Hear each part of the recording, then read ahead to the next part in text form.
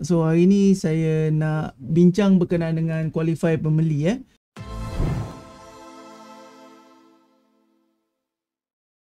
Qualify pembeli. So uh, kalau you pernah tengok video saya ada satu berkenaan dengan bekerja dengan pembeli. Yang itu kenapa you kena qualify. So hari ni kita nak go through apa tu the script untuk nak qualify pembeli tu. Okay. So uh, kenapa kita perlu buat uh, qualify pembeli? Sebab bila kita qualify pembeli, kita apa tu menjimatkan masa kita dan menjimatkan wang kita. Sebab katakan kalau sekiranya you nak pergi antara gapi tu kan, you tak qualify. Kan, dari, orang daripada ceras dan pergi antara gapi, lepas tu uh, orang yang you you bawa tu rupanya dia tidak qualify. Ada baca banyak apa yang dimasukkan dengan tak qualify, dia tak dia bukan nak beli rumah yang apa tu harga macam tu dia tak layak dan sebagainya eh. Jadi uh, apa yang coach saya cakap eh yang dah buat berpuluh-puluh tahun dia kata uh, membezakan orang yang membezakan orang yang close banyak dengan orang yang tak close ialah dia qualify. Siapa qualify bagus dia akan dapat close banyak. Sebab apa? Sebab bila dia qualify bagus maka orang-orang yang tidak berkualiti tu dia tolak tepi dulu. Okey? Dia tunggu dia macam macam saya cakap lah macam musang musang king kan. Kalau sekiranya dia belum masak you jangan petik dia kan. You tunggu dia luruh. Betul tak? So mana yang tak bagus tu you tolak tepi dulu. Jadi apa yang berlaku ialah bila you cepat qualify maka orang-orang yang memang layak untuk mendapatkan masa you akan you orang kata kita akan kita akan dapatkan case dia dululah eh. Ha, so target yang low hanging fruits ni eh. So saya minta penjaga masa kalau boleh beritahu saya eh. Jangan jangan type dekat dalam dekat WhatsApp sebab saya tak tengok. Masa kita present kita tak tengok WhatsApp. eh? So you kena buka mic dan beritahu. Okay. So okay bila? Bila kita nak kena qualify buyer? Bila? Setiap ketika.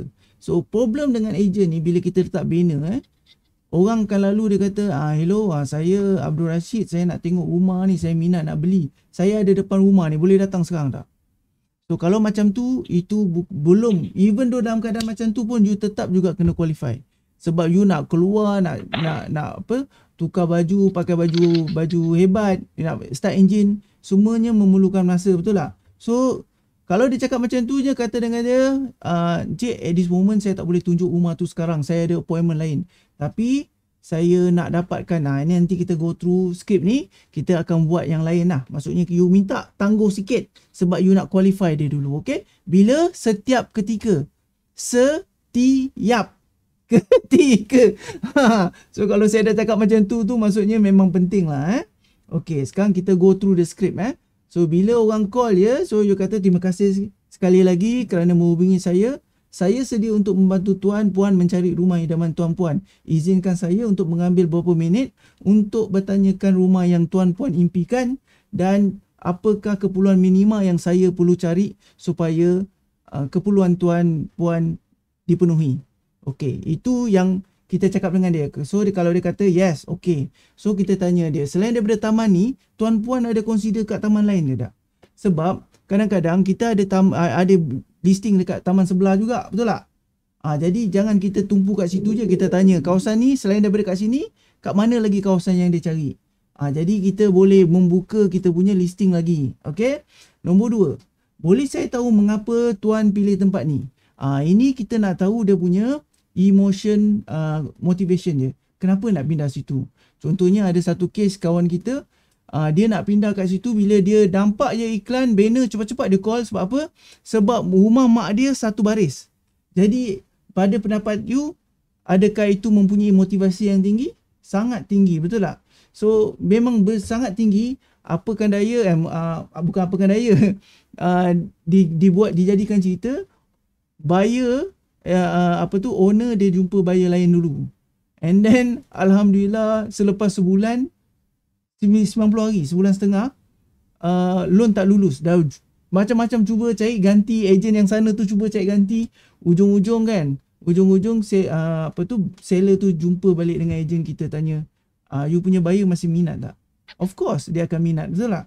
So bila cakap dia terus masuk loan terus lulus terus sign. Uh, itu contohnya lah eh. So kita nak tahu kenapa dia pilih tempat tu supaya kita tahu motivation dia. Antara sebab dia kerana dia memang tinggal situ dia suka. Dulu rumah dia kecil dia nak upgrade pergi ke fasa yang lebih besar eh. Uh, uh, and then lagi satu kalau sekiranya dulu dia menyewa macam rumah yang saya beli dekat Sering UK tu saya sewa kat situ 3 tahun. Lepas saya sewa kat situ saya tak nak pergi tempat lain dah.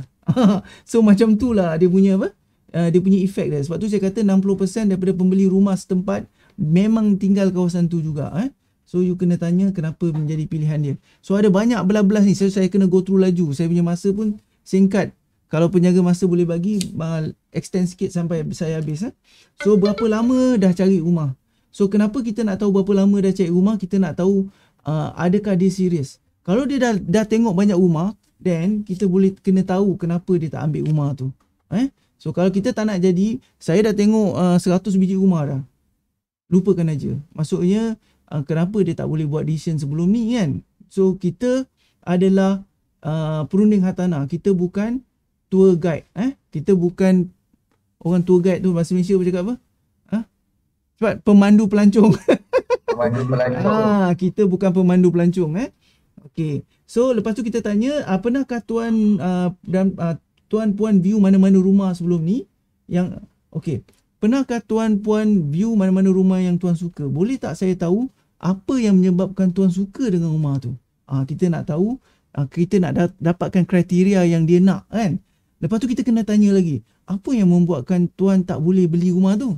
Ah jadi kita tanya dua soalan kat situ. Satu kita nak tahu apakah motif apa yang dia minat, apa yang dia suka. Jadi dari situ kita boleh tahu dia punya hot button tau. Ingat tak?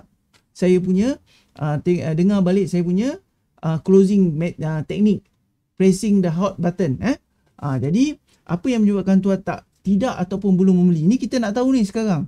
Sebab kadang-kadang orang ni dia macam terlalu uh, uh, memilih sangat. Jadi kalau orang terlalu memilih ni dia bukan orang yang bermotivasi sangat eh. So memang dia ada keinginan tetapi uh, adakah kita nak termasuk dekat dalam mangsa dia?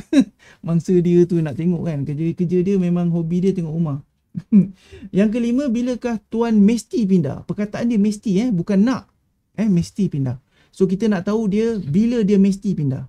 So katakanlah uh, dia kena dia kena pindah. Saya kena pindah by uh, dua bulan ni saya kena pindah. Ha, itu menunjukkan dia ber, sangat bermotivasi. Eh, adakah tuan perlu menjualkan rumah? Jadi kalau kita tanya dia, dia nak perlu jual rumah dia yang sebelum ni tak? Yang dia tinggal sekarang ni tak? Kalau dia jual rumah, dia nak perlu nak jual rumah dia yang kita dapat dua, double, nampak tak? macam apa yang dapat kat saya. Uh, dia nak beli rumah 1.25, lepas tu dia nak jual rumah 750,000. Dua-dua saya makan. Uh, macam tu lah. Eh?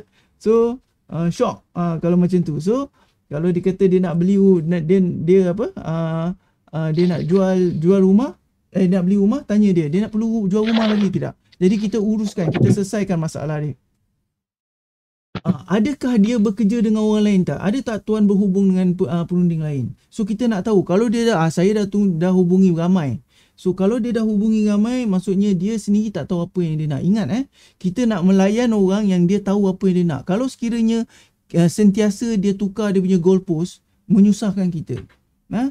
Dia nak kejar dak ni lepas tu nanti besok dia nak yang lain lepas tu nak besok nak lain itu menyusahkan kita. So kita kena make sure that uh, orang yang kita cakap ni, orang yang kita nak layan ni, dia tahu apa yang dia nak. Kalau dia dah cakap dengan banyak ejen, kan? And then lepas tu kita nak tanya kenapa dia tak boleh close dengan ejen ni, ejen ni, ejen ni.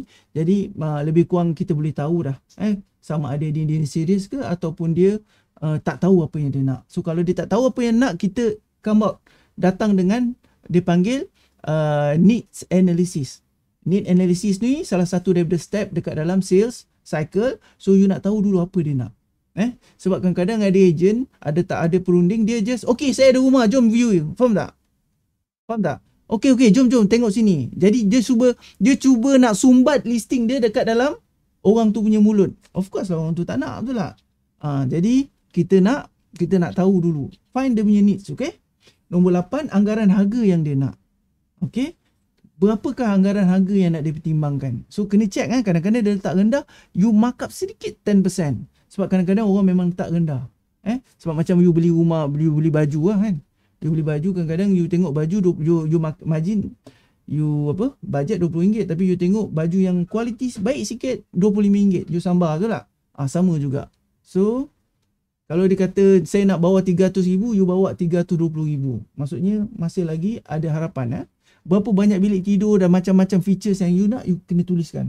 Eh? Kena buat apa tu? Fact finding kan? Uh, so dapatkan information tu. And then apakah ciri-ciri lain yang mesti ada? Sebab kadang-kadang ada orang dia kata kalau boleh uh, saya nak bilik dekat bawah tu besar sebab untuk mak saya. Ha. Faham tak? ataupun saya nak level ground floor je sebab apa sebab saya duduk dengan mak saya jadi you tahu you tak guna bawa tingkat 3 tingkat 4 yang walk upnya ataupun you tak guna bagi uh, rumah yang dia punya uh, guest room dia kecil kan tak guna sebab memang dia nak cari yang besar eh sebab mak dia tak mampu nak naik tingkat atas. Selalu bilik yang besar-besar kat atas betul tak? Bilik bawah ni selalu kecil. Tetapi bukan semua eh. Kalau kita beli kalau kita tengok rumah yang macam banglo size kan guest room dia kadang-kadang sama besar dengan master. Eh sebab dia dia dia bukan panggil bilik bawah dia panggil guest room bilik tetamu. Okey? Okey so sekarang ni the next one kita nak tahu dia punya kemampuan dia untuk membeli uh, untuk membeli rumah subsale ni tuan selalunya memang ada kena perlukan 10% untuk deposit ha master sign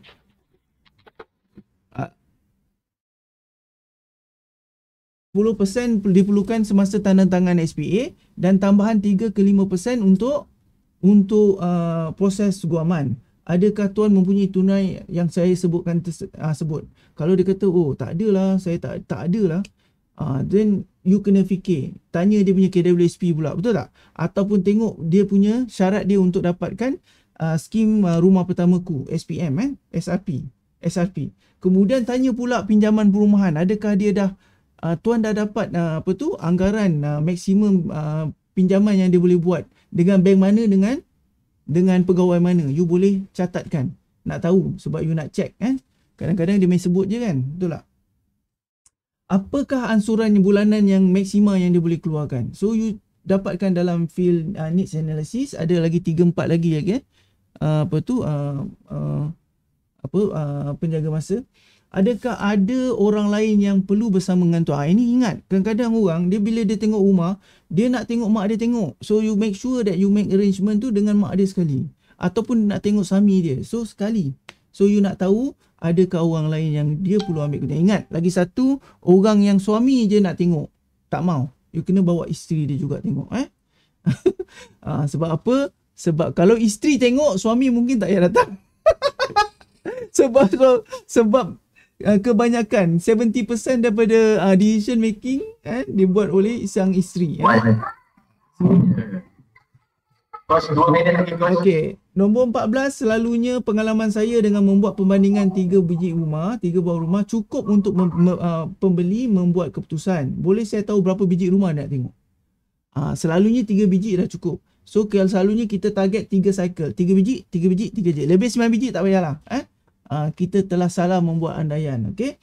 Jika kita melihat, dapat melihat rumah yang mengikut cita rasa yang cik nak hari ini, adakah kita boleh teruskan dengan proses untuk pembelian tersebut, tawaran.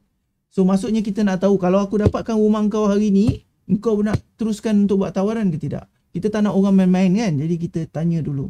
Yang keenam, secepat mana saya boleh uruskan proses viewing ni? Ha, kita nak tahu secepat mana. Okay, itu saja kot yang saya rasa 17. Ah, okey. Terdapat ad, adakah terdapat sebarang soalan atau kemuskilan lain yang tuan-tuan tuan ada untuk saya jawab? Okey, ingat eh. So ini cuma separuh sepa, sepa, proses dia separuh je tau. Kerja yang tanah banyak. Ah, tak sempat nak diturunkan ni. Eh wah. ah, CMA, kena tengok CMA, kena tengok kita punya uh, pre-listing package, semua tu kena ada. Okey?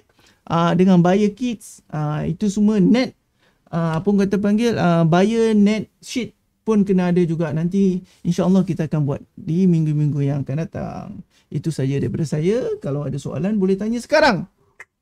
Saya baca chat. Macam mana nak pastikan buyer tu betul-betul sesuai baru kita buat viewing?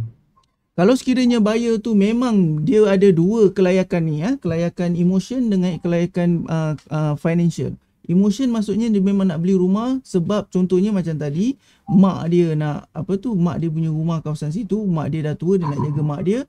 Ataupun sekiranya dia nak upgrade sekarang dia sebelum ni dia ada rumah yang kos rendah dua biji uh, dua dua bilik dia nak anak dia dah tiga orang dia nak jadikan tiga bilik.